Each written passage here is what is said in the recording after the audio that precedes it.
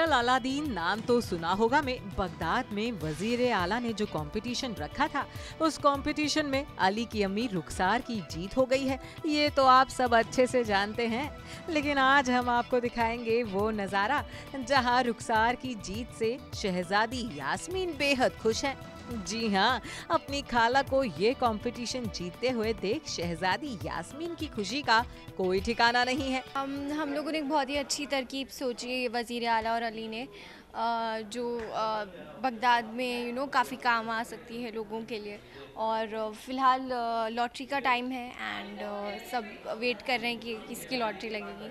So I am the person who announces it and बहुत ही amazing result होता है obviously and everybody is very happy with it so yeah it's a very happening काफ़ी time बाद you know ऐसा happy happy एकदम scene आया जिसमें सब भी खुश है। सब मेरी हैप्पी कि ऐसा कोई सीन आया है। अब सीधी सी बात है, ये सब अली की ही तो करामत है।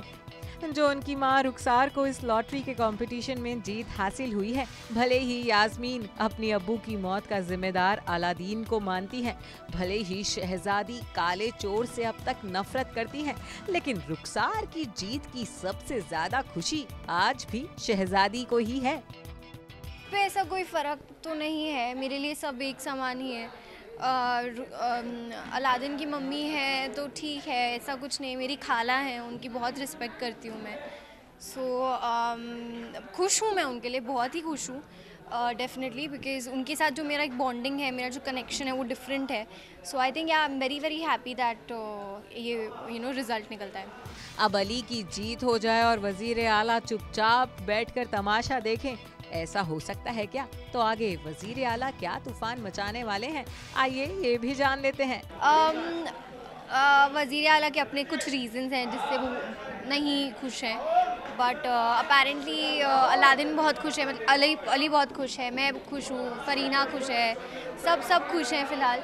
एंड वज़ीर अला के क्या रीज़न है जिससे वो खुश नहीं है वो मैं भी नहीं बता सकती पर उसके लिए आपको डेफिनेटली शो हमारा देखना पड़ेगा। सो so, प्लीज़ आगे के जो एपिसोड्स हैं ज़रूर ज़रूर देखिए।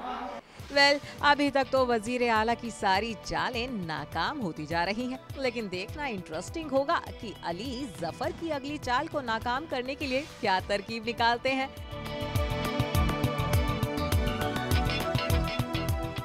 मुंबई से शिल्पा पाटिल की रिपोर्ट e ई ट्वेंटी